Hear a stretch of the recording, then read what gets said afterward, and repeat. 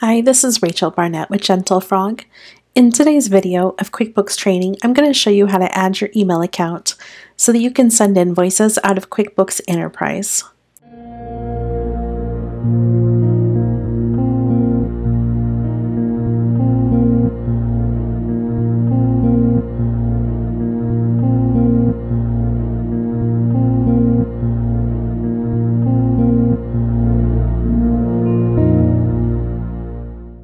QuickBooks Enterprise is one of the QuickBooks desktop solutions.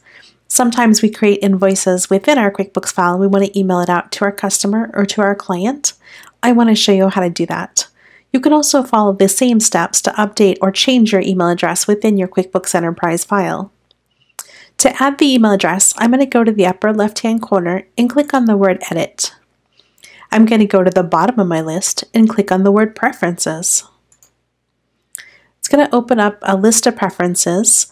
On the left-hand menu, I'm going to scroll down and select Send Forms. There's two tabs.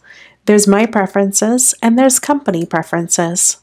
I want to choose My Preferences to add my email address.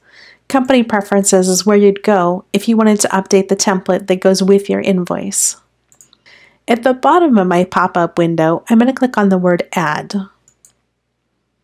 I'm going to enter my email ID.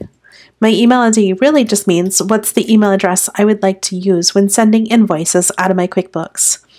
My email address is rachel at gentlefrog.com. My email provider is Google Apps for Business, so I'm going to choose Gmail from the drop down list. It says use enhanced security recommended. Well, if it's recommended, I'm going to go ahead and do that. I'm going to click on the blue OK.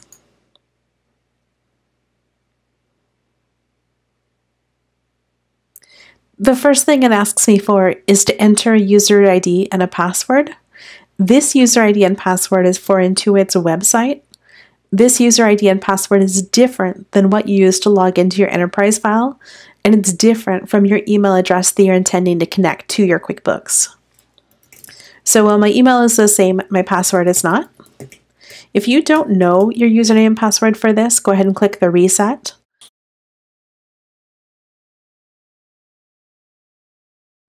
So I'm logging into my Intuit account, the account that I would use to log into Intuit or QuickBooks website. And then it says choose an account from gentlefrog.com. So I'm going to choose rachel at gentlefrog.com. In this case, it says sign in with Google. It says confirm your choices. You've already given QuickBooks access to your email. Is everything good? I'm going to click allow. What you didn't see, because I did this earlier before starting the video, was that I had to type in the password before I got to this point. So when you're doing this with your own QuickBooks file, you will need to type in the password after entering your email address. You just didn't see it because I've already done this and I thought if I made a new file, it would work and it didn't. So what you can see now is the email IDs associated with my QuickBooks is Rachel at GentleFrog and it's my current default. So when I send an invoice to a client or to a customer, it's going to say that it's from rachel at gentlefrog.com. If you have multiple email accounts you want to use, you can click add and keep adding them to your list.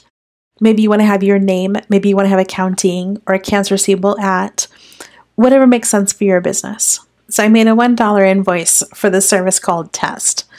At the top ribbon, I'm going to click on email.